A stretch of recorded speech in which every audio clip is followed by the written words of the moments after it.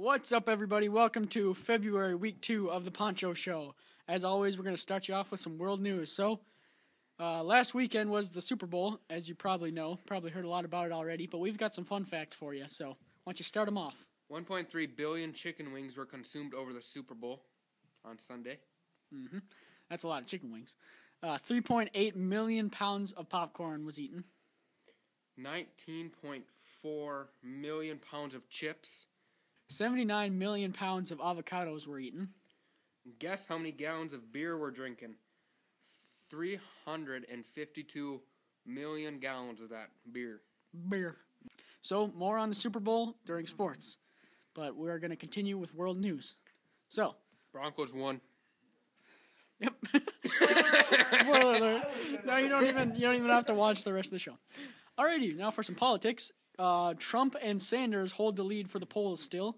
Uh, Bernie Sanders is just a little bit above Hillary Clinton there, so well, that's a pretty close race. That should be pretty interesting. And Trump is back on top. So there you go. He's doing pretty good in New Hampshire right now, too. GoPro is having to lay off some of their employees due to losing sales and dropping in stocks because their stuff is just too expensive. Yeah, they're in a financial tailspin, so hopefully they can come out of that all clean and uh, you know get back on their feet. We wish the best of you, GoPro. Last week was the uh, Chinese New Year, the Lunar New Year. Uh, this year is the Year of the Monkey, so uh, I don't know what that means. I know what that means. That's Alright. where Mountain Dew got that commercial idea. All right, Scott Kelly announced that a flower bloomed on the International Space Station, and now he's just having his own little personal garden up there. Yeah. Well, that's kind of cool. yeah, you heard about it a couple weeks ago that there was a flower up there, and now it's just starting to bloom. So Yeah. that's pretty neat. First flower in space, I think. So Yep. pretty cool. Yep. All right, everybody. Now that you heard some world news, now we're going to talk about some school news. So, Snowball Week is next week. Here's the dress up days. Tuesday is going to be Pajama Day. Wednesday is Patriotic Day. Thursday is going to be Twinning Day, so dress up like a, another person, the same. Yep. And Friday is going to be Class Color, and the class colors will be soon be announced. Mm-hmm. And on Friday, we are going to have a dodgeball tournament, and there's going to be a dance. And also on Tuesday, there's going to be a school wide scavenger hunt. Yep. So that should be pretty fun. Yep. Look forward to it, everybody. Alrighty. There is no school on Monday, February 15th for due to President's Day, right? So there you go. And we are getting out early on Friday. Yep. Due to CPR training, right? CPR training. Youth Business Adventure info is available in Mrs. Hirschel's room. If you want to get into that, go ahead and do it. Uh, kindness Month continues, so make sure you uh, continue to spread that kindness. And I don't know. Really, you should be kindness all the time, not just this month, but who cares? All right. Thanks for tuning in for the news, and we'll see you next week. Story time, story time. Get ready for some story time with Abel. Story time with Abel. Today we'll be reading Muffy and Fluffy, the kids who didn't agree. Muffy and Fluffy are twins. This is Muffy. And this is Fluffy. Muffy and Fluffy look alike, they dress alike, they talk alike, they are twins. But Muffy and Fluffy do not think alike. If Muffy says yes, Fluffy says no. If Fluffy plays in, Muffy plays out. And if Muffy plays high, Fluffy plays low. If Fluffy plays up, Muffy plays down. The two kittens do not think alike, and it is not fun. We will play here, says Muffy. No, says Fluffy. We will play here.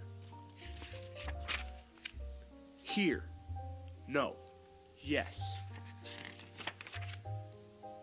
Wait, says Fluffy. We will take turns. We will play here. The twins, pl- the twins play here, then they play there. They play in and out, high and low, up and down. This is fun, says Fluffy. Yes, says Muffy. This is fun. Now Muffy and Fluffy look alike. They dress alike. They talk alike. Sometimes the twins do not think alike.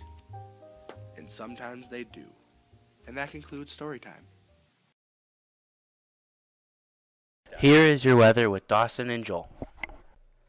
So it's, so it's supposed to be really cold today, about five degrees or so, and then over the weekend it's gonna start warming up, and then there's a chance of snow till about Tuesday, and it's gonna be warm enough where it could actually be rain, freezing rain, make it kind of fun. Wednesday's supposed to be sunny, and and Thursday it's gonna be cloudy again. So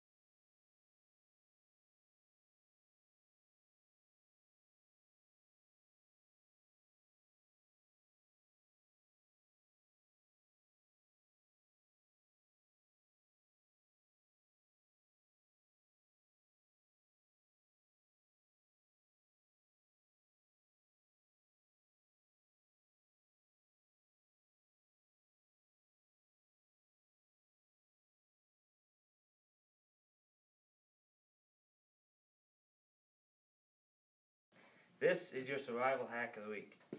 You get a pop bottle, chop it up, and you get a coffee filter with a rubber band. You put it in there. You get some sand and drop it in.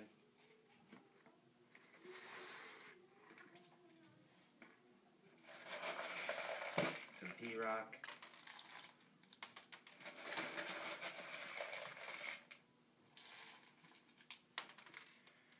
You get some even bigger rocks.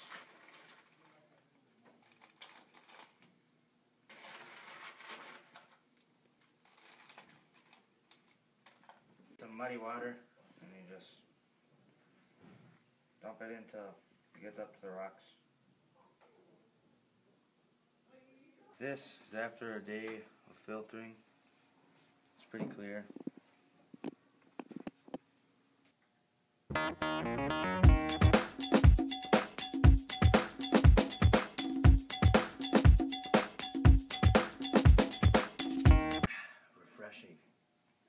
Again.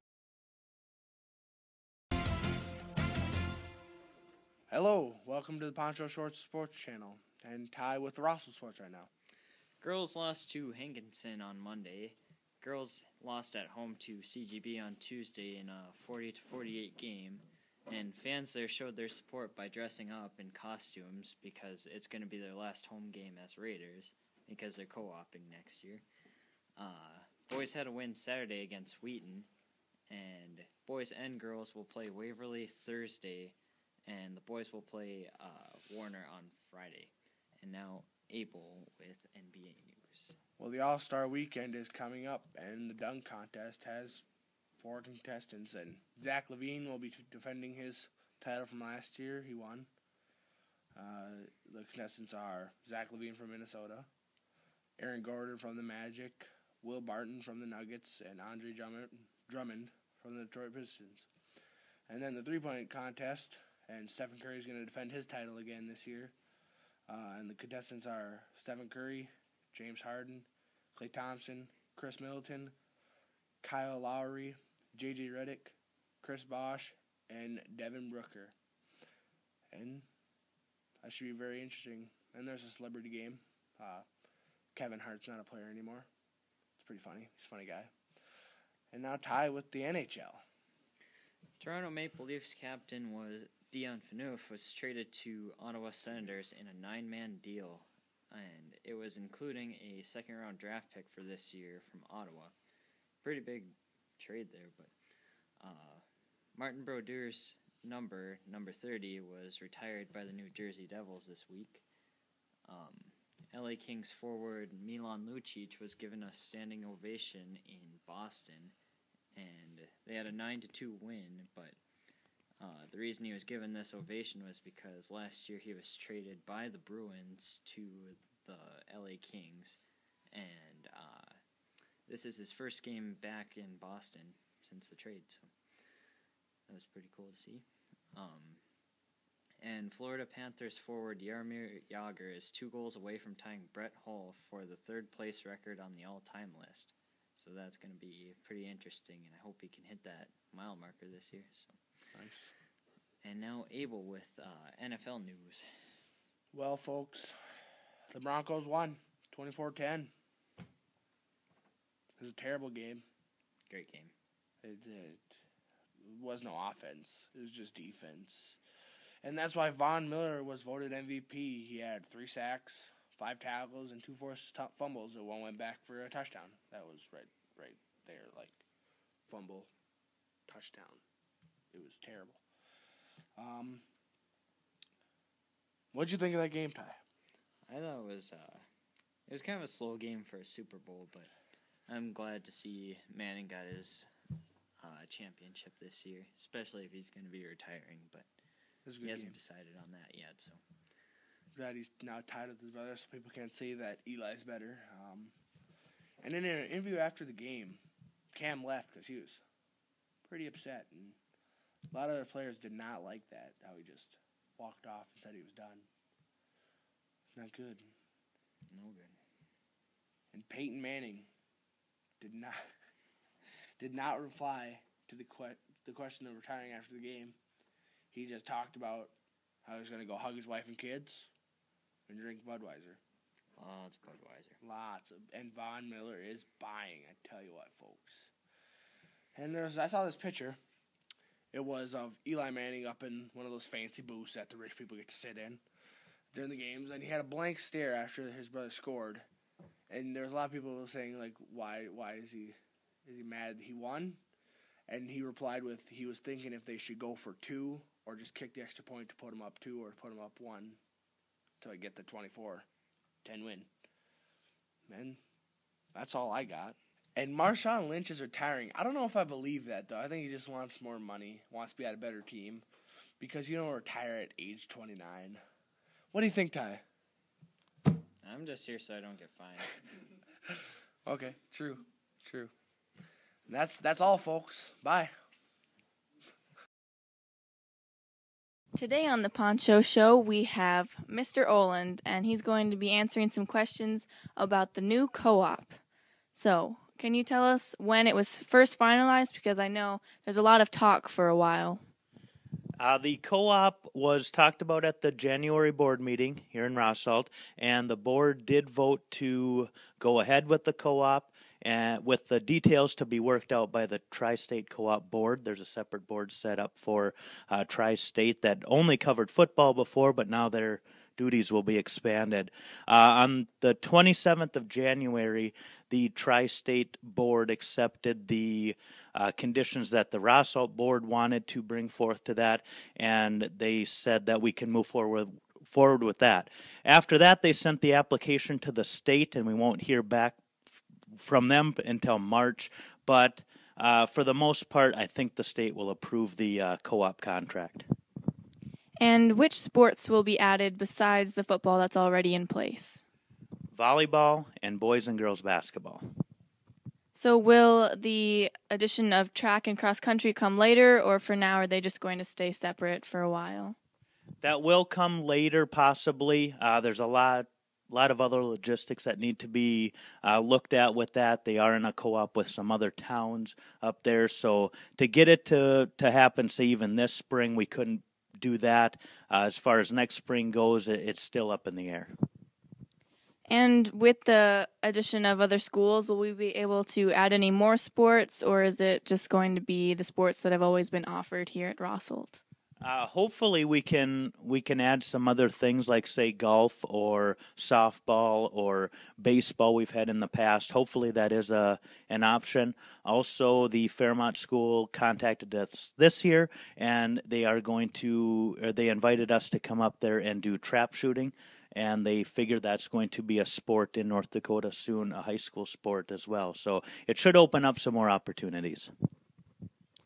And how will the eligibility requirements work? I know now it's um, just based on whether you're failing or anything, but will that change in the future to see who can participate in anything? Yes, the Tri State Board has already started looking at some policy things, and it was decided that the policies would be consistent between all three schools. So they're going to look at what all three schools do and then pick the best one going forward for all three. And how will practices be managed and games split up and all of the things that happen between the towns? Uh, practices are probably going to be the hardest part to schedule because we are going to have to do some more busing. Uh, football works out pretty well. Uh, they've got all of the details ironed out with that, and now we have to figure out which gyms and, and which bus drivers and which coaches can can go to those practices. So that will probably be the most difficult part of the whole process. And what about the games? Because I've heard talk of us having more or being split up. I don't exactly know how that's going to work. Uh, as of right now, we were looking at some games volleyball. It would be half of the games in Rosholt and half of them in uh, Fairmount Campbell Tintah, and they would be able to split those games that they get however they want. For basketball, both boys and girls, we did get a few more games. Uh, I think for boys basketball next year, we're going to have seven of the ten home games in Rosholt, and in girls basketball, six of the nine home games in Rosholt.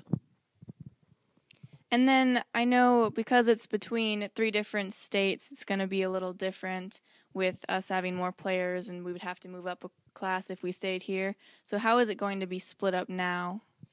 Uh, we're going to compete in North Dakota, which we would stay in Class B. We would be in Region 1 in North Dakota. Uh, as of right now, we've still been able to schedule all of the conference teams in South Dakota and also still play a couple of the Minnesota teams that we play. So we will we're going to play teams from all three states like we currently do. All right. Well, that's all. So, thank you for being on the Poncho show this week. Thank you.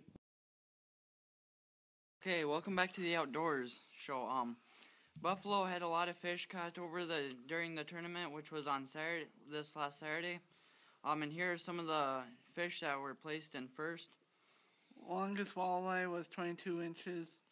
Longest northern was 30 and a 30 and a quarter inches. Longest perch was nine and seven eighths long. And then longest fish, which was in the other category, was a 13 inch bullhead that I caught off of a tip up.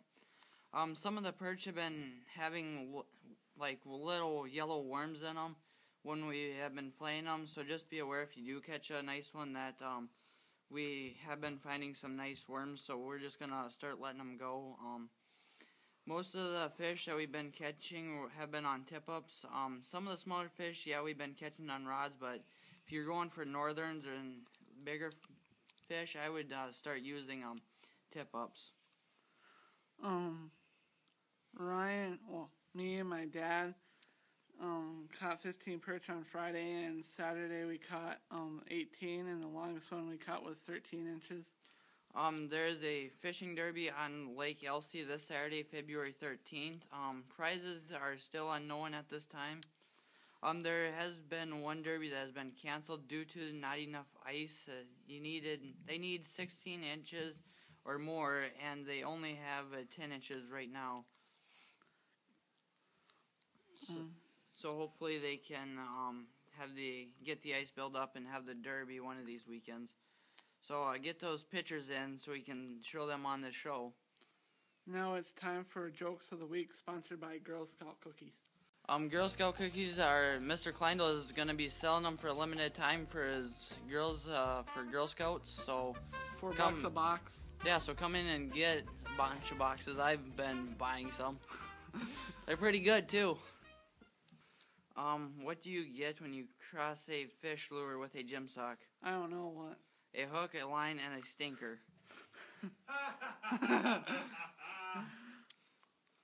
How do you communicate with a fish? I don't know. Drop it a- in a line. What does every fisherman want? What? A girlfriend. and that is it for this week's um, Outdoors channel.